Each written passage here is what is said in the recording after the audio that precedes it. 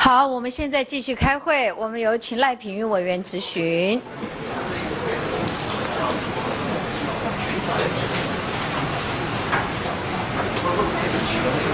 他们都好像不会懂得见解。哎，麻烦主席请院长来。好，谢谢，谢谢。我们有请吴院长，谢谢。委员好。Hello，院长。诶，那我想，我想今天就有几个问题想要请教您。那首先呢，诶，不免俗的嘛，就是说，因为我们疫情现在还是如火如火如荼中。那我想请问的是说，因为之前我看到故宫有提出一个新故宫计划嘛，那当时这个计划里面，呃，原来预期的是想说，诶，刚好因为二零二零是东京奥运，然后想要借由这样子的时机来，呃，进一步的去提。提升故宫的参访人数。那我看到当时这个计划里面定定的是说，想要达成，诶，北院参访人数要五百四十万，那南院要达成一百二十万人次，总体的目标是突破六百六十万人次。那这边就有个问题想跟院长讨论了，因为像我们二零一九年故宫北院的参访人数是三百八十万人次，那南院大概是一百万人次，合计大概就是四百八十万人次，显然离这个您这个计划的目标有一段距离嘛。那现现在更不幸的是说，刚好遇到武汉肺炎的疫情大爆发，包含今天 WHO 终于要承认，这就是一个全世界大爆发的疫情了。那可以看到是说，在前两个月，其实故宫的参访人数就大幅的减少，尤其是二月份，您上次也跟我讲说，少了大概百分之八十的游客。然后，尤其是故宫的本院主要的参访。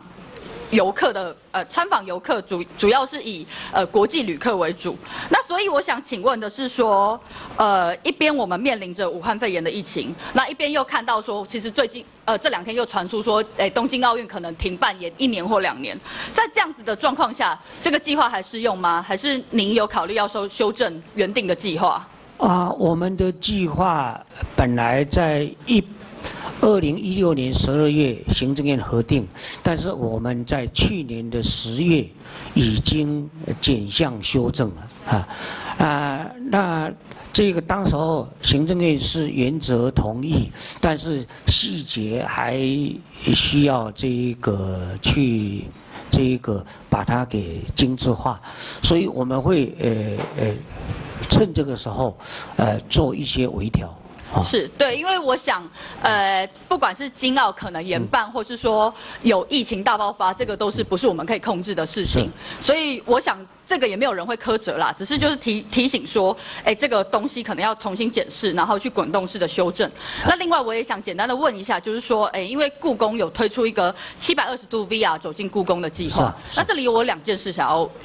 询问院长这边，第一个就是说，我看到的是目前这个 VR 使用的人数可能相对的还是没有这么多。那这部分我想请问故宫有没有什么提升使用人数的方案？那第二个是说，呃，因为这是新技术的应用嘛，那看到的目前它的状况是北院有，南院没有。我也想请问院长说，这个东西未来是不是考虑可以延伸到南院也有？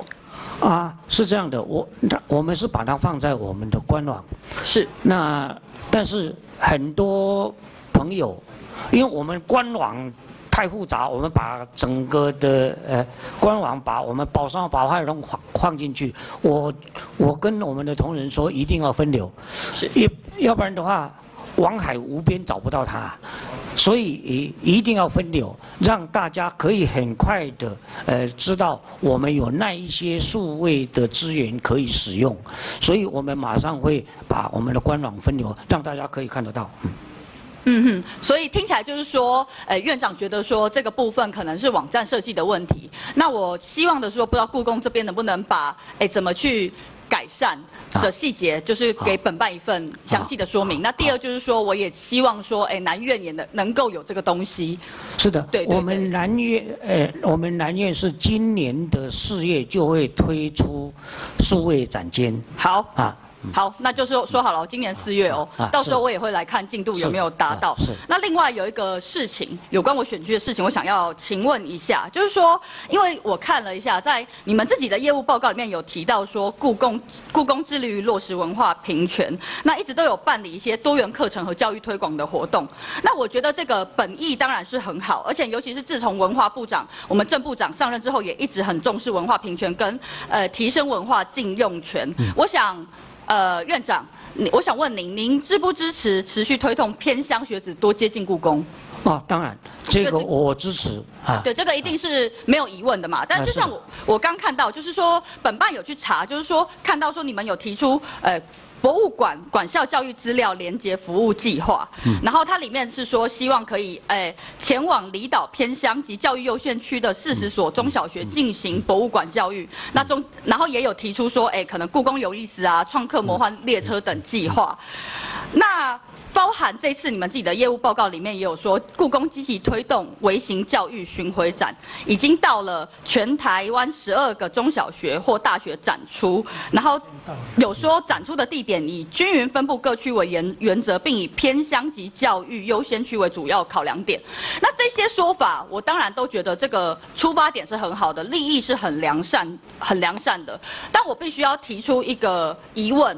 一个说，呃，一个希望故宫这边说明的，就是说，因为您自己这个这个业务报告自己说，就是以偏乡教育为考量，但是我去检视了这个巡回名单，总共十二间嘛，却发现说。哎，这十二个名单里面，其实没有一间是新北市所定义的五十六所偏远地区的中小学，完全没有。而且这五十六所里面，其实我的选区就包含了三十五所。那我想请问一下，就是说故宫要怎么解释这个部分？啊，其实以前我们嗯这个只有一部呃这个车子在跑，所以当然会这个点不会那么多，这是一个。所以我们希望这个增加啊、另外呃一部车子来跑，这是一个。另外一个呃是他们来申请的。